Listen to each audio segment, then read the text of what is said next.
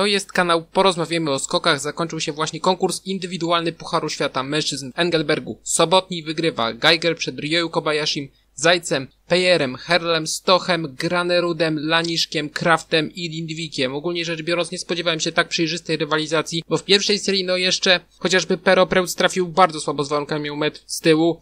Kubacki wiem, że miał wysoki uszczelniony odczyt, ale w zasadzie mam ochotę pominąć to, bo skok po prostu Kubackiego był bardzo przeciętny. Był taki moment, że chociażby była grupa od Amana, powiedzmy gdzieś do Aschenwalda, która miała wiatr z przodu, jeszcze chociażby Schmidt załapał się na całkiem fajne warunki i to spowodowało, że jednak korelacja pomiędzy pozycjami tych zawodników po pierwszej serii a warunkami była dość wyraźna, ale ogólnie rzecz biorąc druga seria była no wspaniała, jeśli chodzi o warunki, przynajmniej jeśli chodzi o uszczelniony odczyt, bo nikt nie miał ponad pół metra na sekundę, a jeden jedyny cenę, który miał z przodu, to miał jakieś grosze odjęte, więc naprawdę, jeśli chodzi o przejrzystość rywalizacji w drugiej serii było naprawdę bardzo, bardzo dobrze. W każdym razie Geiger w pewnym sensie zaskoczenie, a z drugiej strony nie zaskoczenie, no bo to w końcu lider Pucharu Świata i o włos przed Ryu Kobayashim i tutaj można przyjąć dwie narracje, przynajmniej tak mi się wydaje, bo obaj zawodnicy skakali świetnie. Ryu w mojej opinii za skok, który oddał w pierwszej serii 54 punkty, no to jest mimo wszystko za surowo. Ja wiem, że Ryu teraz jakoś w Engelbergu trochę sztywnawe ma te lądowania,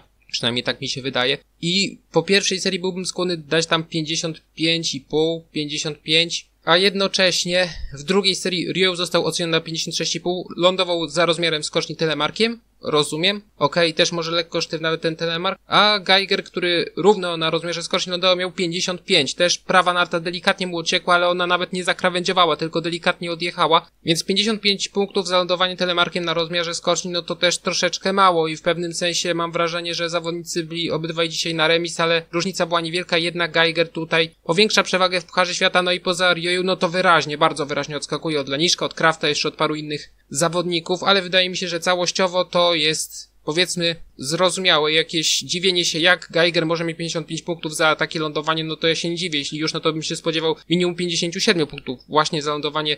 Może nie do końca udanym telemarkiem, ale na pewno tutaj do prawidłowego telemarku było bardzo, bardzo blisko. Zresztą popatrzcie sobie chociażby na noty Stocha, który lądował ponad 5 metrów bliżej. Oczywiście prawidłowym telemarkiem, ale lądował ponad 5 metrów bliżej, a z racji na wybieg o wykorzystaniu warunków, jakie są w powietrzu, no to raczej czy Stoch powinien być wyżej oceniony chociażby od Geigera? Śmiem tutaj wątpić mimo wszystko. Na trzecim miejscu Timi Zaj trzeci po pierwszej, trzeci po drugiej, jeśli chodzi o Rio czwarty po pierwszej, a Geiger drugi. Po pierwszej Zajc no skakał bardzo dobrze na treningach, ale mimo wszystko dziwiłem się, że on był pierwszy po pierwszej serii. Podium by mnie nie zdziwiło, to trzecie miejsce by mnie nie zdziwiło, ale jednak pierwsze miejsce po pierwszej serii by mnie zdziwiło. Zresztą drugi skok Zajcowi się nie do końca już udał, bo chyba delikatnie przejechał, troszeczkę porzucali w powietrzu tak bardzo delikatnie, no i to było szerokie lądowanie. To nie były tak piękny telemark jak y, ten z kwalifikacji, ten z pierwszej serii, gdzie było dość wąsko te narty. Tutaj no dość szeroko poprowadził te narty, ale i tak chyba 137,5 metra, więc naprawdę występ, jeśli chodzi o Zajca, przepraszam, 137 był bardzo, bardzo dobry i pierwsze podium w sezonie. Kolejny Słoweniec y, z podium a wydaje się, że cenę prędzej czy później też to podium dołoży. Czwarte miejsce Kilion Peje. Nie dziwię się, że był typowany na podium. Nie dziwię mnie, że był trzeci po pierwszej serii, ale po prostu, no, przeciwnicy byli zbyt mocni, a Zajc uciekł za daleko, a i tak miał trzecią notę serii drugiej, więc no, Pejer po prostu w tym momencie nie jest na tyle mocny, żeby tak klarownej rywalizacji, chociaż to jest źle powiedziane, po prostu Zajc miał bardzo dobry dzień, a wydaje mi się, że Peje jest jednak dość powtarzalny, przynajmniej w Engelbergu jest mega powtarzalny i poziom, który prezentuje jest, no, najwyższy w karierze w mojej opinii. Może, można by tutaj dyskutować jeszcze z Mistrzostwami Świata, bo w Pucharze Świata Peyer tak dobrze jeszcze nie skakał. Ja wiem, że miał drugie miejsce w Niżnym Tagile jakiś czas temu, ale wydaje mi się, że on jest teraz w swojej życiowej formie, przynajmniej na ten moment. Być może może wyciągnąć z siebie jeszcze więcej i dopiero później będziemy mówić o faktycznie życiowej formie Payera, ale występ Payera bardzo, bardzo dobry. Podium nie ma, ale jeżeli będzie miał taką dyspozycję, no to podium jest kwestią czasu. Tutaj nie ma możliwości, żeby powiedzmy na przestrzeni, nie wiem, 6-7 konkursów, jeżeli by się utrzymała taka forma, to prędzej czy później trafi trochę lepsze warunki i będzie miał podium. Piąte miejsce Jan Herl, piąty po pierwszej, piąty po drugiej, bardzo dobry występ Herla, nie spodziewałem się, że on będzie tak wysoko. Spodziewałem się powtarzalności, ale raczej w okolicach dziesiątego miejsca. Tutaj dwa bardzo fajne skoki, piąte miejsce, szóste miejsce Kamil Stoch, siódmy po serii pierwszej i ogólnie rzecz biorąc można powiedzieć, że Kamil prezentuje się bardzo dobrze, bardzo równe skoki, równiejsze niż na początku sezonu, ale jednocześnie, no gdyby zabrać tego Kamila Stocha, no to no co mam powiedzieć w takiej sytuacji? No po prostu są z gliszcza i nie dziwię się głosom wszyscy, won wszystkich zaorać. Oczywiście one są często bezrefleksyjne. No weźmy kogoś z zagranicy. No kogo? No kogoś z zagranicy, prawda? Ale ogólnie występ Kamila bardzo dobry. Siódmy Halvor Egner, grany. Znowu problemy. Znowu mi się wydawało, że było bardzo blisko skręcenia tej sylwetki w pierwszej serii, a mimo to grany sobie radzi. I powtarzam się pewnie po raz kolejny. Popatrzcie na Stocha i popatrzcie na grany ruda komu więcej brakuje do swojej topowej formy. A mimo wszystko te wyniki są zbliżone. Dziewiąty po pierwszej, siódmy po drugiej serii. Laniszek, szósty po pierwszej, ósmy po drugiej. Mega mnie zdziwił Laniszek, bo on od kilku tygodni naprawdę, no, tak jak mówię, Laniszek taki sprzed kilku sezonów raczej, bo raczej nie spodziewałbym się po Laniszku w tym momencie, że jest w stanie skoczyć do czołowej dziesiątki, a tutaj pierwszy skok bardzo dobry, drugi też w gruncie rzeczy bardzo dobry, bo spodziewałem się, że on tutaj cenę wpuści do czołowej dziesiątki, jednak to nie miało miejsca. Dziewiąte miejsce Stefan Kraft, dziesiąte po pierwszej serii. No Kraft wydaje się, że jest powtarzalny, że jego forma być może będzie rosnąć, ale raczej nie wiem, czy zdąży wzrosnąć na turniej czterech skoczni i być może pierwszy raz od wielu lat Kraft przestanie być dyżurnym kandydatem do podium turnieju czterech skoczni. Tak jak zazwyczaj jest to Stoch i Kraft i praktycznie od pięciu lat jest a to Kraft, a to Stoch, a to oni na pewno będą się liczyć, bo to wielcy zawodnicy. Zgadzam się, ale wydaje się, że to może być pierwszy od kilku lat moment, że Kraft nie będzie rozpatrywany jako taki mocny kandydat do podium turnieju czterech skoczni, bo nawet rok temu pamiętam, że on był rozpatrywany jako kandydat do podium w turnieju czterech skoczni. Oczywiście mocno na wyrost, ale jednak był. Dziesiąte miejsce Mariusz Lindwik, osiemnasty po pierwszej serii, potężny awans z drugiej serii. W pierwszej miał ogromne problemy, huśtało nim strasznie i w zasadzie nie ustabilizował do końca sylwetki na przestrzeni całego lotu. W drugiej serii już dużo lepszy skok. No i przechodzimy do reprezentacji Polski. Pewnie już wielu wie, tylko Kamil Stok dostał się do drugiej serii, a niestety z punktu widzenia reprezentacji Polski nie zanosiło się na coś znacznie lepszego. Jeśli chodzi o punkty, no to mogło być jeszcze przeciętniej, bo teoretycznie byłoby dwóch, ale za to w trzeciej dziesiątce, jeśli byśmy brali pod uwagę serię próbną. 35. Andrzej Stęka wydawało się, że on może dostać się do drugiej serii, ale ze względu na to, że później odrobinkę, ale tak odrobinkę poprawiły się warunki, no to było za mało, a w próbnej, no to Stękała skoczył słabiutko. 44. Jakub Wolny, no nie wiem, czy on się mocniej odbił z prawej nogi, i później nie mógł kompletnie ustabilizować sylwetki w locie. Nie wiem, co tam się do końca stało, ale no wolny no nie przekonuje i skokami kwalifikacyjnymi, treningowymi, i próbną, i pierwszą serią, i tutaj łącznie z Kubackim, o którym zaraz powiem, no te treningi w Ramzał aż proszą się o samozaoranie o jakiś konkretny sarkazm. Może jeszcze bym się mimo wszystko tutaj od tego powstrzymał. 48, przepraszam, 45 Paweł Wąsek, no chyba rzeczywiście jest to zawodnik na przednie wiatry, przynajmniej w tym momencie, chociaż Szczerze mówiąc, wcześniej go nie kojarzyłem z, jako zawodnika takiego typowo pod przednie wiatry. 48 Dawid Kubacki i ktoś zaraz powie 60 metrów na sekundę z tyłu. Okej, okay? ale jednocześnie patrząc na to odbicie, kiedy było, nie wiem, powiedzmy tam chwila po tym odbiciu, te narty poszły płasko, pomyślałem tak, w końcu to wygląda lepiej tak powiedzmy na tą trzecią dziesiątkę, ale później te narty mu przyszły, zastawiły go, nawet nie zyskał takiego przewyższenia, jak zazwyczaj uzyskiwał jeszcze powiedzmy dwa, trzy tygodnie wcześniej i po prostu no nie dziwi mnie, że to było sto kilkanaście metrów, bo to był po prostu bardzo słaby skok. Zresztą zaraz po nim, jeśli dobrze pamiętam, skoczył Trofimow i skoczył 10 metrów dalej. Trofimow, nie jakiś zawodnik powiedzmy, który też przez przypadek w pewnym sensie pojawił się tak nisko na liście startowej, tylko po prostu zawodnik, który jest w miarę powtarzalny, w miarę stabilny i przynajmniej nie ma teraz spadku formy, bo po prostu teraz dyspozycja Kubackiego jest bardzo, bardzo przeciętna. Ja mówię tutaj stricte o wynikach. Ja wiem, że on jest zadowolony z tych skoków do pewnego stopnia. Ja tutaj staram się skupiać stricte na wynikach i na tym, co moje mimo wszystko laickie oko jest w stanie zobaczyć podczas skoku bez powiedzmy specjalnej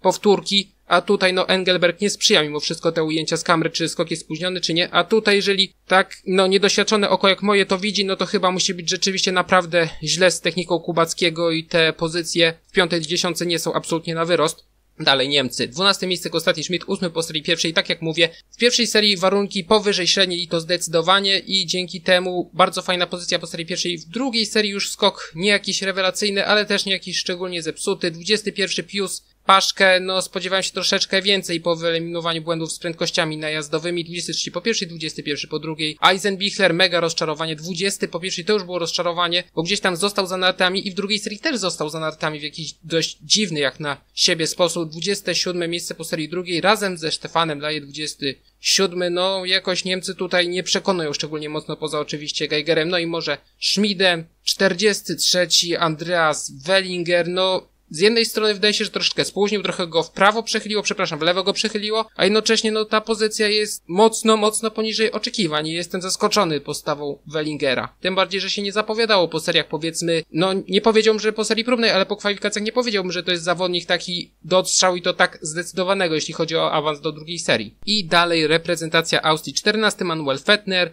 17 po serii pierwszej, dwa przyzwoite skoki jeśli chodzi o Fettnera i kolejny bardzo przyzwoity występ. Trzofenik, najlepszy wynik w sezonie 17 po drugiej serii 16, przepraszam, 26 po pierwszej, to był naprawdę mega dobry występ w drugiej serii, awans aż o 9 pozycji. 18 Filip Aschenwald też raczej w pierwszej serii warunki niezłe, czyli 15 miejsce, 18 po serii drugi. Kolejny fajny występ Aschenwalda, ale znowu przełom drugiej i trzeciej dziesiątki w przypadku tego zawodnika na ten moment. 22 Huber i w pierwszej serii, nie wiem co tam się stało, strasznie płasko puścił narty i wydawało mi się, że ten skok powinien być nieudany, a technicznie drugi skok wyglądał lepiej, a mimo wszystko wiem, że był tam awans, ale spodziewałem się o wiele więcej po tym drugim skoku i w obydwu seriach poważne błędy, jeśli chodzi o lądowanie, gdzieś ta lewa narta mu za każdym razem uciekała, zwłaszcza w pierwszej serii mu bardzo, bardzo uciekła, skok był dość okazały, jeśli chodzi o odległość. 33 Urlich Worgenant raczej z warunkami tak nie za bardzo, znowu oczywiście nie w takiej skali jak dzień wcześniej, ale jednak no troszeczkę za mało. Jednak się spodziewam, że jutro, jeżeli Worgenant nie będzie miał pecha do warunków, no to jednak znajdzie się w tej drugiej serii. A swoją drogą Schiffner, którego wymienił, no to wrócę sobie na Pucharze Kontynentalnym za bardzo nie poszalał. Dalej reprezentacja Norwegii, 13 Johansson zarówno po pierwszej, jak i po drugiej serii. Dwa przyzwoite skoki, chociaż w pierwszej serii lądowanie takie mocno średnie i mimo wszystko spodziewałem się raczej czołowej dziesiątki pod koniec, ale raczej czołowej dziesiątki, ale występ też w porządku, to samo Forpang 27 po pierwszej, 20 po drugiej serii, wyraźny awans serii drugiej, bardzo fajne lądowanie jeśli chodzi o Forfanga, tylko 40 Tande, który na tej skoczni, no nie wiem co się dzieje z Tande akurat w Engelbergu, 49 Fanemel, który po prostu skacze bardzo, bardzo przeciętnie i ledwo, ledwo dostał się do konkursu głównego i Kompletnie nie dziwi mnie to 49. miejsce, które zajął tylko dlatego, że Wilmstad dostał dyskwalifikację, ale sam Wilmstad też nie skoczył jakoś szczególnie dobrze. No lepiej od Fanemela, ale raczej na punkty by to nie wystarczyło. Znaczy na pewno by nie wystarczyło, bo to byłaby dużo odleglejsza pozycja niż 30. Dalej Słowenia 11 cenę Prełc, dwa równe skoki jeśli chodzi o cenę Prełca, aczkolwiek no nie dziwię się, że on czasami te niskie noty wyłapuje, bo po prostu ten telemark jest dość subtelny i on często ma tendencję do troszeczkę przysiadania na nartach pewnym sensie to jest trochę podobne do tego, co robi Kubacki, chociaż Kubacki szerzej prowadzi narty i trochę inaczej składa się do telemarku, bo cenę robi to o wiele płynniej i ładniej dla oka, ale też nie dziwią mnie właśnie te pojedyncze noty typu 17, 16,5, a czasami nawet jak się częściej pojawiają, bo po prostu ten telemark ceny jest dość delikatny i czasami można uznać, że to jest po prostu lądowanie na dwie nogi z markowanym telemarkiem. 16 miejsce Lauro Kos, 16 po pierwszej i po drugiej serii, raczej warunki zwłaszcza w pierwszej serii powyżej średniej, ale ogólnie kolejny bardzo dobry występ tego zawodnika.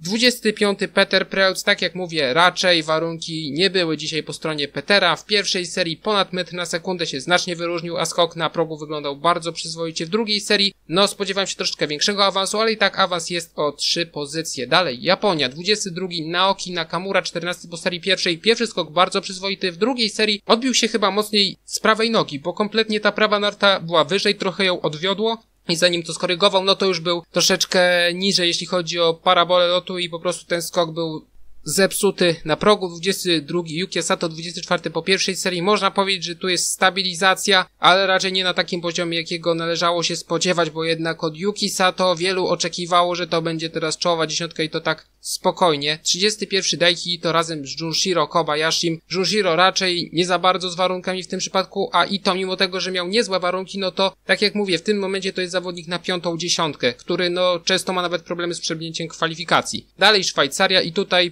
poza Pejerem jest nieźle, bo jest jeszcze trzech punktujących, 26 Deschwanden, 29 Aman i 30 Peter, no zawodnicy, którzy w drugiej serii, no nie za bardzo, bo Aman jednak się poprawił w drugiej serii, ale to dzięki raczej bardzo przeciętnej postawie Dominika Petera, a Deschwanden też znaczny spadek, jeśli chodzi o pozycję konkursie. Dalej Rosja i tutaj Rosjanie się nieźle zaprezentowali mimo wszystko. Oczywiście tutaj Peje spowodował, że Szwajcaria dołożyła bardzo dużo w Pucharze Narodów, jeśli chodzi o Rosję, no i też reprezentacji Polski przy okazji, ale 14 miejsce Kimowa, 12 po serii pierwszej. W pierwszej serii warunki i troszeczkę surowo został potraktowany w mojej opinii, bo tam 17,5 aż. Ja wiem, że było z lekkim przysiadem, ale aż taka różnica powiedzmy pomiędzy Stochem a Klimowem czy ona aż tak duża powinna być? Nie do końca jestem przekonany. 18 Daniel Sadryjew, 19 po serii pierwszej, no ogólnie dwa równe skoki, jeśli chodzi o Sadryjewa i znów druga dziesiątka. I na to się zapowiadało po treningach, nie powiedzmy gdzieś tam cudem, fartem przebrnięta seria pierwsza, tylko rzeczywiście na drugą dziesiątkę. I swoją drugą Klimow też bardzo przyzwoity skok oddał w serii drugiej. 34 Nazarow, występ w porządku, ale no być może gdyby był w tym miejscu co Klimow, no to miałby te kilka punktów więcej i dostałby się do drugiej serii. I Trofimow, tak jak mówię, raczej warunki nieszczególne i skok powiedzmy na miarę oczekiwań, bo raczej od Trofimowa nikt nie oczekuje, że on będzie punktował co konkurs, tylko jak raczej trafią się całkiem niezłe warunki, no to będzie to ten zawodnik właśnie na pograniczu i czasem będzie nad tą kreską, a czasami pod nią. Po prostu. Finlandia ze Estonią, 39 Niko Kytosacho, no występ powiedzmy tylko na miarę oczekiwań, a te oczekiwania niestety nie są w tym momencie zbyt wysokie. 42 Kevin Malcew, bardzo fajna seria próbna, jeśli dobrze pamiętam, 36 miejsce. No można powiedzieć, że gdyby to był Artie Agron, to nikt by się nie zdziwił, ale jednocześnie te występy w Malcewa są całkiem niezłe, przynajmniej na ten moment. Ameryka Północna 41 Mackenzie Boyd Klaus, no występ dyskretny, 47 Deckel Dean, mogę powiedzieć dokładnie to samo. No i niezbyt licznie reprezentowana reszta świata, 35 Władimir Zograwski, występ w porządku, ale na punkty to było za mało, 37 Witalij Kalinczenko, bardzo, bardzo dobry występ. W porównaniu z Rasznowem, gdzie też była 37 pozycja w poprzednim roku, no to można powiedzieć, że to jest z jednej strony wyrównanie, ale z drugiej strony to jest najlepszy występ w karierze, jeśli chodzi o Puchar Świata, no bo Kalinczenko, przypominam, w Obezdofie na dużej skoczni był w czołowej 30 i ogólnie jestem pozytywnie zaskoczony postawą Witalija Kalinczenki i 46 Roman Kołdelka, no to bardziej przypominało te skoki z Pucharu Kontynentalnego sobotniego, a nie niedzielnego, przepraszam, piątkowego, a nie sobotniego, bo tam kołdelce odbicie uciekło w górę, nie było to takie fajne przejście, jak miewał w tych lepszych skokach, jak chociażby w kwalifikacjach, no i tylko 46 miejsce, można powiedzieć, nazwisko zmienione, ale wyniki, no niestety, w tym przypadku się nie zmieniły, jeśli chodzi o, o reprezentację Czech. I najlepszy z podopiecznych Washi Bajcza, no to w tym momencie Kevin Malcew, jakby nie patrzeć i przechodzę do rywalizacji na pozostałych szczeblach, a biorąc pod uwagę, że wczoraj nie dałem rady omówić nic poza pucharami świata, no to troszeczkę się tego nazbierało. Rozpoczynamy od pucharu kontynentalnego wrócę. Wygrywa Pedersen przed Bierengiem, Ringenem, Freundem, Lakterem, Semniczem, Berem, Ore, Raimundem i Steinerem. Jeśli chodzi o reprezentację Polski, to jest z jednej strony postęp, bo jest czterech punktujących, ale wszyscy są w trzeciej dziesiątce. 21 zniszczył, 22 Kot, 25 Hula, 27 Jan Habdas, 45 Tomasz Pilch, i 48 Clemens Joniak. Ogólnie rzecz biorąc wydawało się, to jest raczej ciekawostka, ale wydawało się w pewnym momencie, że może Korniłow zaszaleje i powalczy o kwotę startową dla Rosji, bo na treningach było fantastycznie. Pierwsze i trzecie miejsca, tutaj nawet nie dostał się do drugiej serii i Kołobow, który wskoczył za Maksimoczkina, a nie za Purtowa, no niestety dla Rosjan nie prezentuje wyższego poziomu niż Maksimoczkin, przynajmniej w tym momencie. Dalej, Puchar Kontynentalny pań w Notoden wygrywa Sorszak przed Gerliś, Julią Milbacher, Józefin Laue, Aniką Belszą, Michelle Gebel, Ksenią Kablukową, Anastazją Subotiną, Hanną Wigele i Paige Jones, która odnowiła swoje prawo startu w Pucharze Świata jako jedyna z całej stawki. Jeśli chodzi o reprezentantki Polski, 21 Joanna Szła, 26 Pola Bełtowska i 28 Sara Tyner. Konkurs drugi i znów Sorszak, Gerliś, Milbacher, Laue, piąte miejsce Michel Gebel, szóste Anika Belszow, siódme Hanna Wigele, ósma Katarina Elmauer, dziewiąte miejsce Anastazja Subotina i dziesiąte miejsce Sophie Kotbauer. Jeśli chodzi o Polki, 18 Jana Szwad, 27 Pola Bełtowska i 28 Sara Tyner. Jeśli chodzi o rywalizację na poziomie Alpen Cup, wygrywa Mark Hafner przed Markusem Millerem, Andre Fusenegerem dalej, David Hagen, który został zesłany po słabych występach w Pucharze Kontynentalnym dalej, Luka Geyer, Maxim Bartol, Simon Spiewok, Lynn Niederberger, Dominik Kulmicer i Julian Schmidt. Konkurs drugi wygrywa Maxim Bartol, dalej Markus Miller, Mark Hafner, Julian Schmidt, David Hagen, Andre Fusenegger, Rafael Zimmermann, Stefan Embasher, rocznik 2006, Lynn Niederberger i Johannes Polz. Jeśli chodzi o rywalizację pań wygrywa Nika Preutz przed Tają Bodlaj, Jerneją Repinch Żupancic, Niką Wetriś, Lilu Zepci, Tinkarą Komar, Emą Szerwet, Martiną Zanicer, Lią Beme i Siną Arnett. Konkurs drugi wygrywa Taja Bodlaj, dalej Jerneja Repic Żupancic, Nika Wetriś, Nika Preutz, Lia Beme, Lara Logar, Tinkara Komar, Emma Szerwet, Martina Zanicer i Lilu Zepci. No i trochę nie po kolei, bo na koniec Fiskap mężczyzn w Notoden i można powiedzieć, że całe podium norweskie wrócę, no to jest wydarzenie mimo wszystko, a to co się dzieje w Fiskapie i występy Austriaków, no to dzień jak co dzień, dzień po dniu, ośmiu Austriaków w czołowej dziesiątce w obydwu konkursach, z czego w drugim konkursie na ośmiu czołowych miejscach. Konkurs pierwszy wygrywa Eigner, dalej Mert, Landerer, Schwan, Rupicz, Freitag, Vergeter, Kachofer, Liso i Bachlinger. Jeśli chodzi o reprezentantów Polski, no to 18 Juroszek, 25 Szymon Jojko, 29 Arkadiusz Jojko i 27 Adam Niżnik. Konkurs drugi wygrywa Eigner przed Rupiczem, Szwanem, Rezingerem, Mertem, Vergeterem, Landererem, Bachlingerem, Freitagiem i Fredrikiem Granem. Jeśli chodzi o reprezentantów Polski, 18 Juroszek, 25 Arkadiusz Jojko, 26 Szymon Jojko i 28 Adam Niżnik. To tyle. Do usłyszenia.